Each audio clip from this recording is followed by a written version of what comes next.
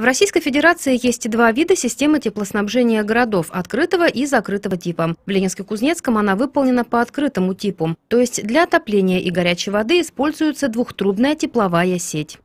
Открытая схема теплоснабжения характеризуется тем, что водоразбор на горячую воду для нужд потребителя происходит именно непосредственно из тепловой сети. Работа котельных зимой осуществляется по температурному графику качественного регулирования отпуска тепла. Именно он обеспечивает комфортную температуру в домах потребителей.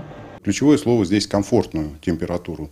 График работы котельной зависит от температуры наружного воздуха. То есть, соответственно, если э, на улице холоднее, соответственно, э, тем горячее вода э, в трубопроводах, в тепловых сетях. Сейчас котельные работают по графику 65-55. То есть 65 градусов поступает вода жителям непосредственно на э, теплоснабжение и горячую воду.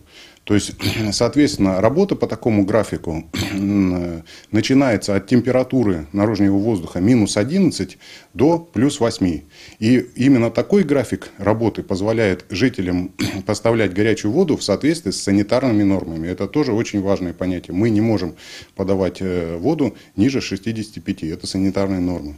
Именно такой температурный график при открытой схеме теплоснабжения сохранится до конца отопительного сезона. Срок окончания отопительного сезона принимает муниципалитет при соблюдении одного из главных условий. Дневная температура воздуха должна держаться плюс 8 градусов в течение как минимум 5 дней. Анна Кириллова, Василий Обухов, Ленинск ТВ.